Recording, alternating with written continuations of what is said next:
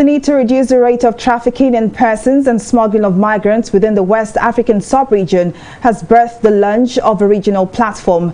To extensively mitigate this menace, the Network Against Child Trafficking, Abuse and Labor, in partnership with the Action Against Trafficking in Persons and Smuggling of Migrants, with funding by the European Union, has launched a regional network in Abuja, the nation's capital. Our correspondent, Mujisala Matomi, now reports. Overcoming the increased rate of unsafe migration and trafficking in persons in West Africa is the reason for this gathering in Abuja. To tackle the multi-billion dollar industry where vulnerable people are targeted, concerned groups have joined forces to launch a regional network termed the West African Coalition Against Trafficking in Persons and Smuggling of Migrants. basically, we started to discuss about how to, to create this, this idea today has been has been uh, presented, has been launched.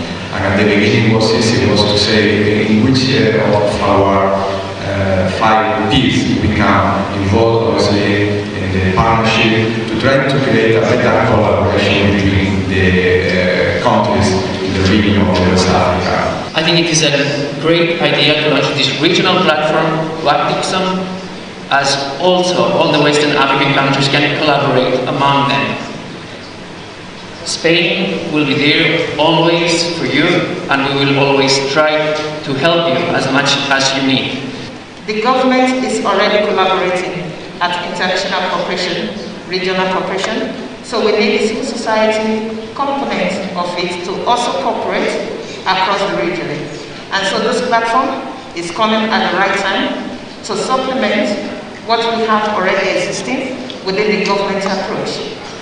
On the part of the former Director General of the National Agency for the Prohibition of Trafficking in Persons, Julie Okah-Donli, the platform could not have come at a better time as collaboration is key to addressing the menace of trafficking. Like I always say, if we are doing all we can in Nigeria to fight human trafficking and smuggling of migrants, but the other countries, the neighboring countries, are not doing anything or are not doing as much or are not collaborating with us, it will be an exercise in futility because what that means is that we are trying to stop it here, but it is going on in other countries, and so there's no point. It's just a waste of time and energy. For us to also be able to move faster than the perpetrators of trafficking in persons, gender-based violence, those who don't mean well for our children and young people, we also need to have a very formidable platform.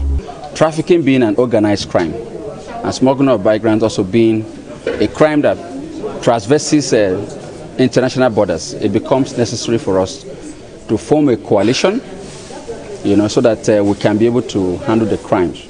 Reports from the United Nations have shown that 80% of victims in West Africa are trafficked for forced labor, with 16 West African countries endorsing the launch of WACTIPSOM.